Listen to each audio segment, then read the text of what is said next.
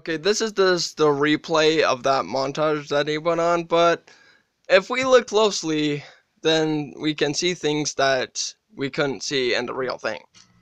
So, yeah. Keep your eyes peeled for them, as they're gonna get crazy. See, you could find the underworld from that view, and you're doing some barrel rolls, and if you look behind you, they actually fell in the water. But get ready for the insane thing happened. So it wasn't actually the cop's car that lost its wheel, it was actually his.